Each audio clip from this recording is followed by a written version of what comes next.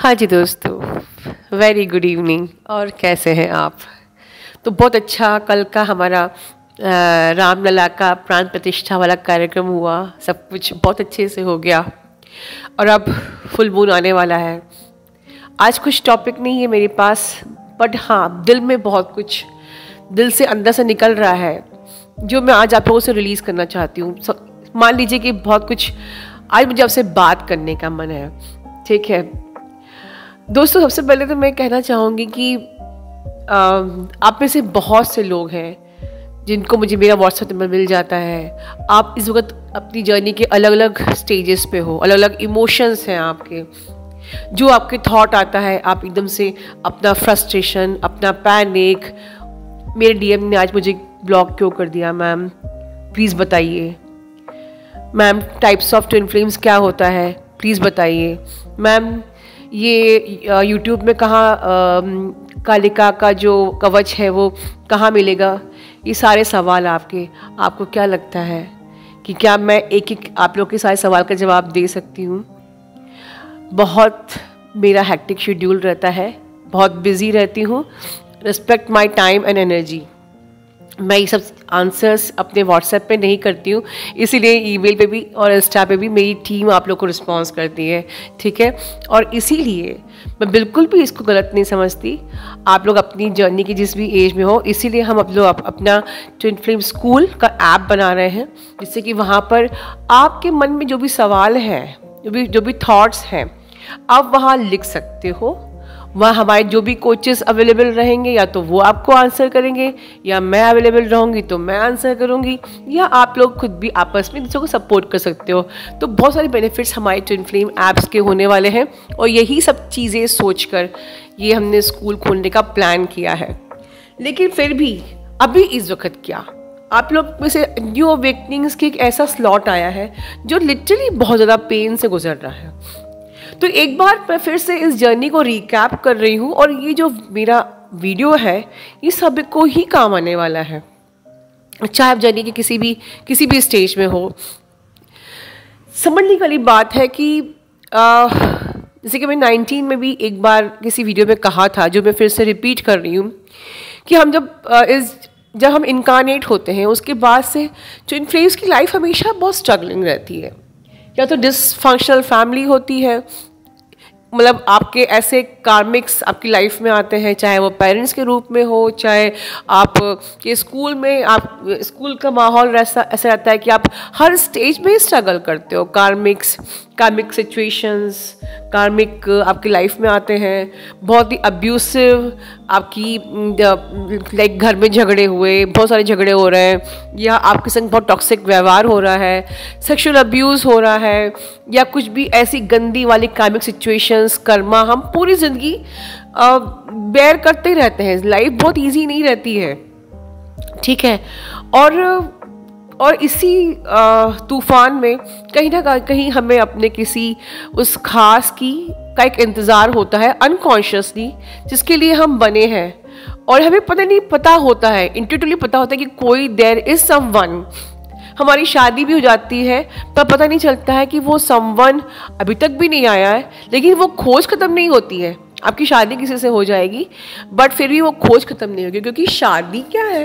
ये तो समझना है कि शादी तो एक प्रोग्रामिंग है। एक रिचुअल है। लेकिन वो इसका उस खोज से, उस यात्रा से कोई मतलब ही नहीं है। एंड यस ये जो यात्रा है, इसका मतलब यही you are meant for this twin flame journey now focus मैं क्या कह रही हूँ? ये जर्नी आपका जन्म ही इस जर्नी के लिए पूरा हुआ है। ट्विन फ्लेम जर्नी के लिए। I am not saying twin flame आपको ये यात्रा पे फोकस करना है, इस जर्नी पे। Twin flame is another very important part of this journey for sure but आपका जो ये जन्म हुआ है, यहाँ पर आपको समझना चाहिए कि आपको सबसे पहले अपनी जर्नी को प्रायोरिटी देना चाहिए। बहुत से लोग लॉजिकली सोच के पेरेंट्स घर पे बोल रहे हैं या ट्विन फ्लेम बात नहीं कर रहा है तो थ्री के लॉजिकल रीजंस के कारण से शादी कर लेते हैं और उसके बाद भी वो ज़िंदगी में सुकून भी नहीं होते। हैं क्योंकि एक जर्नी मिली आपको एक ब्लेसिंग्स मिली एक मौका मिला अपने आप को अपग्रेड करने का अपनी अबेंडेंस को मैनिफेस्ट करने का एक अपने आप में अवेकन होने का। आपको मौका मिला अपनी ज़िंदगी को एक न, अलग नज़रिए से देखने का अलग पर्सपेक्टिव से समझने का। आपको मौका मिला डिवाइन से अलाइन होने का और आपने घूम फिर के क्योंकि ट्विन फ्लेम बात नहीं कर रहा क्योंकि ट्विन फ्लेम से शादी नहीं हुई आपने फिर से वही ज़िंदगी चुन ली शादी कर ली और लो। उसके बाद भी आप खुश नहीं होते हो। ये सच बता रही हूँ, मेरे पास बहुत सारे केसेस आए हैं, ऐसे कि शादी हो गई, अभी भी खुश नहीं है। तो समझिए आप, इस जर्नी की वैल्यू को समझिए ये this journey is your priority तो ट्विन फ्लेम कौन है? ट्विन फ्लेम का रोल है आपके अंदर के उस ब्लॉकेजेस को सरफेस पे लेके आना और आपको खुद से मिलवाना। ठीक है? ट्विन फ्लेम का रोल है आपको आप ही से मिलवाना, आपके ऑथेंटिक सेल्फ में लेके आना, आपके प्योरेस्ट सेल्फ में लेके आना। प्योरेस्ट वर्जन मतलब कि आपका वो वर्जन जो गॉड से अलाइन है, जो यूनिवर्स से अलाइन है, जो आपका ही यूनिवर्स का वर्जन यूनिवर्सल वर्जन है। यूनिवर्स अलग नहीं है, हम सब यूनिवर्स हैं। हम सब यूनिवर्स के डिफरेंट डिफरेंट जैसे एक कपड़े क्लोथ अलग अलग प्रकार के होते हैं। कोई पैंट, फ्रॉक, साड़ी, सलवार, कुर्ता, ये अलग अलग शेप्स हैं। तो हम सब भी डिफरेंट वर्जन्स हैं टाइप्स हैं, पर हम सब ही यूनिवर्स हैं। यूनिवर्स हमको एक्सपीरियंस कर रहा है। तभी तो ये जर्नी मिली। है कहा जाता है कि आप सेपरेशन कॉन्शियसनेस से निकल के वननेस की एनर्जी में आइए। हम सब इंटरकनेक्टेड हैं, हम सब वन हैं। जब आप, अगर आप अपने कार्मिक्स को अलग समझते हो कि वो सेपरेट हैं, वो अलग हैं तो आप अपने ट्विन फ्लेम को तो सेपरेट समझोगे ही। समझो कि अगर कार्मिक बुरे हैं तो हमारा कर्मा उनके साथ था, जो हम अपना अकाउंट्स क्लोज कर रहे हैं और अपनी सोल को आज़ाद कर रहे हैं, अपनी सोल को मुक्त कर रहे हैं। समझिए। तो जिस दिन आपने ये हैबिट डाली क्या किसी को भी आप अलग नहीं समझोगे, वो यूनिवर्स मुझमें भी है, वो यूनिवर्स आप में भी है, वो यूनिवर्स हमारे पड़ोसी में भी है, वो यूनिवर्स हमारे बॉस में भी है, वो यूनिवर्स सब में है, हम सब एक ही हैं। किससे नफरत करें? जो नफरत वाली बात है, वो या तो हमारे अंदर के ब्लॉकेज है, जो कि लोग हमको ट्रिगर करते हैं, या फिर हमारा कर्मा उनके साथ है जो हमें चुकाना पड़ रहा है। दैट्स इट तो इसी को कहते हैं सेपरेशन कॉन्शियसनेस को डिजॉल्व करके वननेस की एनर्जी में आना। तो पहले ट्विन फ्लेम को आप सेप के साथ उसको अपने अंदर तभी फील कर पाओगे जब तक आप अपने ये सेपरेशन कॉन्शियसनेस को ही डिजॉल्व नहीं करोगे। ट्विन फ्लेम तो छोड़िए, आप सबको आप एक सा ही समझिए, अपने जैसा ही समझिए, एक ही समझिए, वो सब यूनिवर्स है। ठीक है? तो आपका ट्विन फ्लेम इस जर्नी पे सिर्फ़ रोमांस करने के लिए नहीं आया है। या रोमांस क्योंकि वो आपका अदर हाफ़ है तो वो जो एक बहुत ही इंटेंस और स्ट्रॉन्ग जो फीलिंग होती है, उसको हम three based three D based अगर रियलिटी से कहें या थ्री डी बेस्ड प्रोग्रामिंग से रोमांस का पक्की परिभाषा देते हैं। ठीक है? लेट बी गाइड यू कि हमको ऐसा क्यों लगता है कि हम अपने अपने ट्विन फ्लेम से प्यार करते हैं रोमांस करते हैं? क्योंकि हमको उस इंटेंस फीलिंग का नाम यही पता है। कि कुछ रोमांस जैसा ही होता है, जबकि romance is just an illusion it's just a craving एक आपके जो आपके जो अनहील्ड पार्ट्स हैं, जो लैक है आपके अंदर तो कहीं ना कहीं वो नीडीनेस को हम उस हैप्पीनेस को, उस लैक को, हम बाहर रोमांस के रूप में खोज रहे हैं। Romance is just a desire एक डिज़ायर है। एक थ्री डी बेस्ड डिज़ायर है। एक लॉजिकल डिज़ायर है, जो ब्रेन से क्रिएटेड है। समझिए, और ये क्यों ब्रेन से क्रिएटेड है? बिकॉज़ ये कहीं ना कहीं रिफ्लेक्ट करती है आप के अंदर उस अनहील्ड पार्ट को, जो कि अनफुलफिल्ड है, जो अपने आप में लैक फील कर रहा है अनसेटिस्फाइड है, जो अपने आप को विक्टिम समझ रहा है, जो अपने आप को खाली समझ रहा है लोनली समझ रहा है, और उस पार्ट को फुलफिल करने के लिए हम एक्सटर्नल सोर्स से हम एक्सटर्नल सोर्स में हाथ पैर मारते कि कोई आके हमारे उस अनहील्ड पार्ट को पूरा कर दे, जबकि बाहर से कोई भी चीज़ वो पूरा नहीं कर सकती and that is the reason आपके ट्विन फ्लेम आपके, आपकी लाइफ में आता है, आपको ये एहसास कराने के लिए कि आप खुद से मिलो राइट right? आप back to your own power. Come back to your own uh, conscious divine universal consciousness. ठीक है आप अपनी अपने हायर सेल्फ को आ, से अलाइन हो। आप अपने लोअर चक जो आपकी लोअर चक्रास से अगर आप ऑपरेट कर रहे हो तो उससे कहीं ना कहीं ये जर्नी आपका ट्विन फ्लेम हेल्प करता है कि आप अपने सेपरेशन सेपरेशन कॉन्शियसनेस से ऊपर उठो। आप अपने अनफुलफिल्ड जो आपके ये जो जो ये पेन है सफरिंग्स हैं यू नो इस सबसे उठ के अपने आप को फुलफिल अंदर से फील करो सेटिस्फाइड फील करो। ठीक है? सपेशन कॉन्शियसनेस से वननेस की एनर्जी में आओ। लोअर चक्रा से आप इस पोलैरिटी से उठकर आप सिंगुलैरिटी में आओ। लोअर चक्रा से ना से ऑपरेट ना करके हार्ट चक्रा से ऑपरेट करिए। डिवाइन कॉन्शियसनेस में आइए। ये ये जर्नी है। अवेकनिंग की ये जर्नी है। Right right? और इसीलिए ट्विन फ्लेम आपको कहीं ना कहीं हेल्प करता है ट्रिगर्स कर करके। तो ट्विन फ्लेम आपको ये एहसास कराता है कि जिस कस्तूरी को तुम बाहर ढूंढ रहे हो। ये नाइन्टी पे सबसे पहले कस्तूरी टर्म भी मैंने यूज़ किया था। बहुत ये पॉपुलर हुआ था। तो उस कस्तूरी को जो आप बाहर ढूंढ रहे हो, वो एक्चुअली में आप ही के अंदर है। And this is the gist of this journey nothing is outside मेरी इस बात को अंडरलाइन कर लो। आप लोग जब रो रो के मुझे मैसेज करते हो, उसने ब्लॉक कर दिया आई एम इन पेन उसने मुझे, मुझसे मेरी बात नहीं हो रही आई एम सफरिंग ये आप नहीं सफ़र कर रहे हो। आपका लॉजिकल माइंड सफ़र कर रहा है, क्योंकि सफरिंग बॉडी को होती है। And you have to come out of this body mind and आपको माइंड बॉडी सोल का अलाइनमेंट करना है। You are not this body you are not this mind you are soul तो सफरिंग बॉडी को हो रही है, इसलिए कहते हैं माइंड बॉडी सोल का अलाइनमेंट करिए। ये इमोशंस हैं। ये इमोशंस किसके? सोल के इमोशंस नहीं होते you are soul you are not this body you are not this mind मतलब कि सफरिंग किसको हो रही है? माइंड को हो रही है। इमोशंस आपके माइंड के हैं। सफरिंग बॉडी को हो रही है। तो मतलब कि अभी भी आप बॉडी कॉन्शियसनेस और माइंड कॉन्शियसनेस से ऑपरेट कर रहे हो। आप अभी सोल कॉन्शियसनेस में आए ही नहीं हो। अभी आप हार्ट चक्र से ऑपरेट ही नहीं कर रहे हो। अभी आप लोअर चक्र से ऑपरेट कर रहे हो। इसलिए सफरिंग हो रही है। डिवाइन मैस्कुल तब तक नहीं आएगा जब तक कि आप ये माइंड कॉन्शियसनेस से और बॉडी कॉन्शियसनेस से ऑपरेट करोगे। Align with the divine consciousness align with your soul consciousness और डीएम आपको यही यही रियलाइज़ कराता है कि अपने आ, आपको अपने आप no happiness is outside no one can make you happy कोई भी चीज़ बाहर से एक्सटर्नल सोर्स से मिल नहीं सकती. Everything you can gather your expectations your desires your need only can gather from the source और द यूनिवर्स और द गॉड और द लाइट और your higher self that's it right?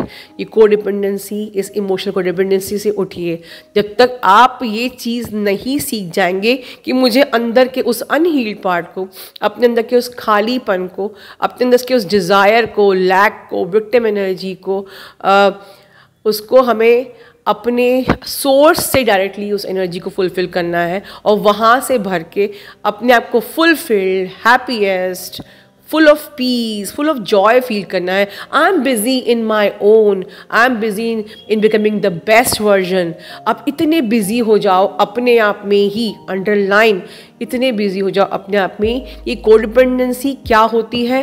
ये आप भूल जाओगे. मैं क्यों किसी पे डिपेंडेंट रहूँ? मार्क माई वर्ड मैं क्यों प्यार के लिए किसी पे डिपेंडेंट रहूँ? आंसर मी और अगर नहीं है तो नीचे क्लेम करो कि मैं प्यार के लिए किसी पर डिपेंडेंट रहने वाली नहीं हूँ। क्लेम करो नीचे, हर एक साइलेंट सब्सक्राइबर या एक्टिव सब्सक्राइबर क्लेम करो कि मैं प्यार के लिए किसी भी डिपेंडेंट नहीं रहूँगी। मेरे डीएम से मुझे प्यार है, क्योंकि वो मेरा आत्मा का दूसरा हिस्सा है। बट मैं प्यार के लिए डिपेंडेंट नहीं रहूँगी उस पर मैं अपने आप में होल एंड कंप्लीट हूँ। मैं अपने आप में हैप्पी एंड सेटिस्फाइड हूँ। मैं अपने आप में फुलफिल्ड हूँ। I am very busy I am very busy in making myself the highest version I am very busy in making myself into the divine consciousness मैं अपने आप में बिज़ी हूँ। मुझे उससे प्यार है। मुझे डीएम से प्यार है। बट प्यार मतलब ये नहीं कि मैं उस पर प्यार के डिपेंडेंट रहूँ कि वो कॉल करेगा मैसेज करेगा, तभी मुझे खुशी मिलेगी। मैं अपने उस अनहील पार्ट को हील कर चुकी हूँ। अनदर क्लेम करिए। मैं अपने उस अनहील पार्ट को क्लेम कर चुकी हूँ। सॉरी अनहील पार्ट को हील कर चुकी हूँ। I am not at all desiring or in the neediness or in the victim mindset, ठीक है? मैं उस एनर्जी को सीधे सोर्स से ले रही हूँ। थर्ड पॉइंट क्लेम कीजिए। मैं उस एनर्जी को सीधे सोर्स से ले रही हूँ। समझ रहे हैं? You know one secret universe is energy बहुत ध्यान से सुनिए। यूनिवर्स इज़ एनर्जी और एनर्जी हंड्रेड परसेंट सरेंडर मांगती है। जैसे कि एक नल, एक टैब में और जब पानी तब फ्लो होता है जब उस पर बीच में कोई भी ब्लॉक, कोई कचरा नहीं होता है। यूनिवर्स आपकी ज़िंदगी में तब फ्लो होगा जब आके ब्लॉकेजेस का कचरा नहीं होगा। And universe demands hundred percent surrender अपने इस दिमाग को साइड में रख के यूनिवर्स को हंड्रेड परसेंट सरेंडर कर दो। तूने मुझे जर्नी दी है। You know you have a best plan for me that's it and only focus in your blockages मुझे अपने उन सारे अनहील पार्ट्स को हील करके, अपने ईगो माइंड को साइड में रख के, अपने इस logical three D mind set से ऊपर हट के माइंड गेमिंग बहुत सी डी एफ़ बहुत माइंड गेमिंग करती हैं. जो माइंड गेम से ऑपरेट करेगा जर्नी नहीं हो पाएगी. बस सीधे बोल रही हूँ, क्योंकि आप जितना अपने माइंड को चलाओगे माइंड मैनिपुलेटिव होगे, आपका डीएम आपको वही मिरर दिखाएगा। तो इस जर्नी को पूरा करने के लिए सबसे बड़ा मात्र एक चीज़ है, बहुत बहुत ही ज़्यादा सौम्य होना है। बहुत ही ज़्यादा सरल, साधारण प्योरेस्ट अगर आपने माइंड गेमिंग करी जर्नी पूरी नहीं हो पाएगी, क्योंकि ये एनर्जी नहीं बेयर करती है, कोई भी माइंड मैनिपुलेशन ठीक है? अपने लॉजिकल माइंड को जब तक आप साइड में रखेंगे नहीं और माइंड गेमिंग से ऊपर उठेंगे नहीं, ये जर्नी की शुरुआत ही नहीं हो पाएगी आपकी और आप लाइफ में कार्मिक सिचुएशन टॉक्सिक पीपल को को आप सरल मतलब लाइफ में झेलते रहेंगे बेयर करते रहेंगे, ठीक है? और लिटरली आप मैट्रिक्स में लॉस्ट हो जाएँगे। अगर आप मेरी इस बात को ध्यान से नहीं समझेंगे, आपको नहीं समझ में आ रहा है कि हमें क्यों प्योर होना है तो प्योर आप नहीं होएँगे, आप माइंड और लॉजिकल माइंड से ऑपरेट करते रहेंगे। No alignment with the god no abundance no happiness no peace no fulfilment no satisfaction और अबेंडेंस आएगी भी तो वो कहीं ना कहीं मतलब you know we will lose फिर वो वो परमात्मा का आज वो लक्ष्मी नहीं होगी, वो माया होगी। ठीक है? And you will lost in the matrix and in the karmic situation karmic people ठीक है? तो इस जर्नी में जर्नी को बहुत ही यू आर वेरी ब्लेस्ड कि आपको ये जर्नी मिली है और इस एक बहुत ही प्यारा सा लाइन जो मैंने आज ही बनाई है आप लोगों के लिए क्रिएटेड बाय माय ओन और इस इस लाइन को हर कोई लिखिए नीचे तो मुझे बहुत खुशी मिलेगी क्योंकि इस सिर्फ़ लिखना नहीं है, आप, आपको एक प्रकार से क्लेम करना है। जैसे जैसे ईगो जाएगा, जैसे जैसे ईगो जाएगा यूनिवर्स आपके और करीब आएगा। राइट ये सब लोग ये लाइन लिखेंगे और उसको याद रखेंगे मेरी इस बात को। जैसे जैसे ईगो जाएगा, वैसे वैसे यूनिवर्स और करीब आएगा। क्योंकि इस वक्त आप लोग की जो प्रॉब्लम पे सामने आ रही है, वो आपका ईगो ही आ रही है। And ego is the biggest blockage in your journey in your union अपना ध्यान रखिए। Love you all